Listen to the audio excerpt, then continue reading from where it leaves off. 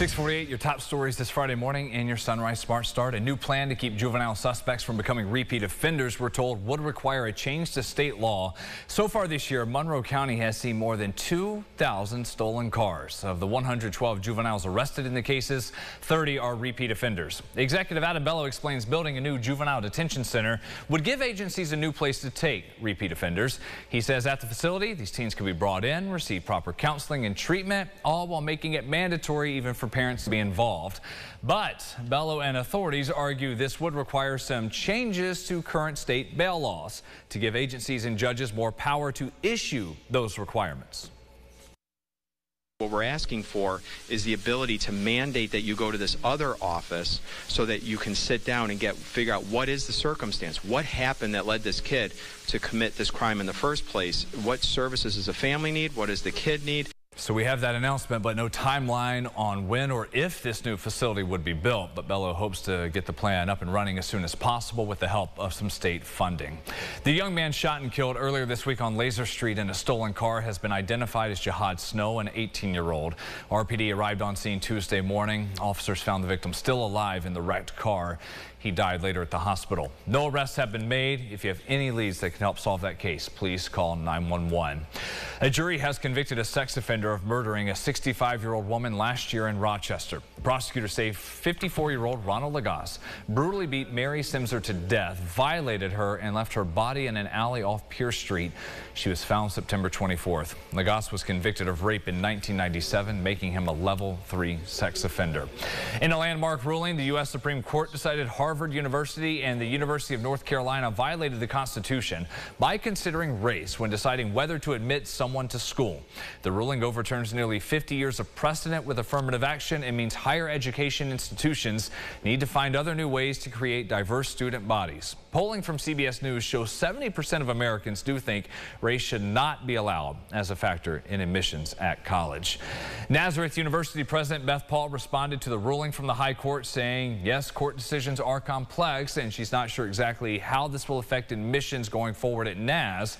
But she says regardless of the ruling, they will continue seeking to establish equity and access for all students, faculty, and staff. Also responding, the governor, Kathy Hochul, expressing her disappointment over the decision. She was asked about it during a press conference. This is a dark day for democracy and for equality. And to make the presumption that today, in 2023, that our country is colorblind is incorrect. That is not the norm for people in America today. More reaction, top of the hour on CBS Mornings. For now, a quick check of some of your headlines in your forecast with James Gilbert. Yeah, air quality still a little bit of an issue out there, but otherwise I think a lot of people trying to get out, play a round of golf. I think today should be great. Outside of a shower here and there, uh, most of the rain should be confined till late this evening. Tomorrow, Sunday, I put that in yellow though. Still playable, but there will be storms here and there. As you see, that rain chance bumps up. And Monday looks actually pretty good outside of an isolated shower or two. We'll take a look at that. The, the um, Independence Day forecast as well uh, coming up at the end of the show. Brennan? See you in a few minutes. Thank you, James. State and local leaders are still telling people to be cautious, stay alert, as the air quality is still an issue from the fires in Canada. There is a statewide air quality advisory running through at least today. Monroe County also canceled movies in the park at Innovative Field downtown last night. We heard from the health commissioner, Dr. Mike Mendoza, who's emphasizing the importance of staying inside during these conditions if you need to and wearing a mask if you want, especially when you're looking at the more at-risk population. The reality is that different parts of a region will experience this in very different ways. To, so to, you know, to imagine a county-wide policy is hard for me right now because, you know, everybody's different. We all have different circumstances. We all have different, you know, ability to tolerate or not tolerate, you know, certain levels of risk. And we will keep you updated here, of course, each morning, News 8 at sunrise. You can also get the forecast check as well as the AQI, the Air Quality Index, on our website, along with updates on cancellations or postponements for any events heading into the 4th at rochesterfirst.com.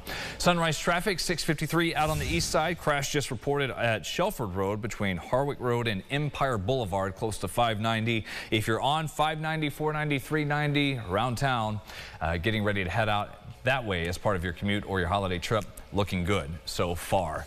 In an effort to cut down on delays for holiday travel, all temporary lane closures on state roads and bridges, that construction will be put on hold starting tomorrow through Wednesday. They do this anytime we approach a busy holiday.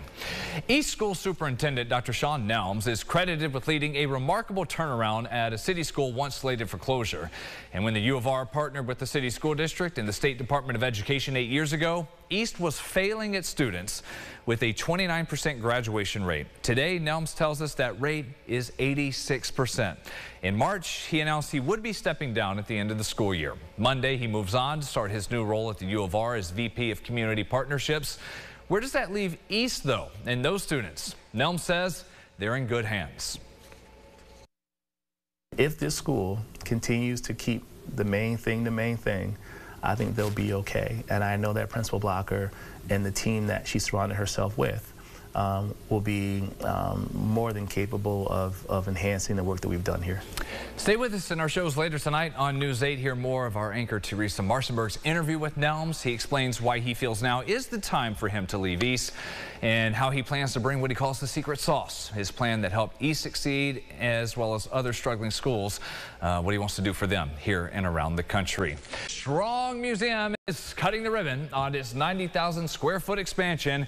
That is the new home of the World Video Game Hall of Fame. It'll serve as a new entrance for the museum featuring a larger than life video game character set. The Strong will open to the public with the new expansion to check it out this afternoon mm. at 1 o'clock. Also what they're doing whenever you come in part of the new entrance, a ton of butterflies. Oh, really? With all this. So, uh, of course, they've had the butterfly garden there. Right. Uh, but yes, very cool. And not just for kids, as we said. Uh, it's an adult playground, too. Right. The video go explore games. the video games, yeah. Really expanded there. Great to see that. Yeah. A good indoor activity we usually say for the wintertime. Yeah. But if you're concerned about air quality, uh, that could be an option for you.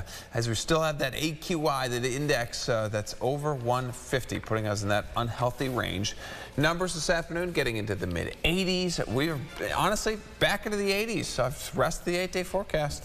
All right, and getting into the fourth, and because the way it falls this year, everyone's got a long, long break. Yeah, please my day off. Yes, please be safe, enjoy it. We'll see you back here in 30 minutes with more updates. Have a great weekend.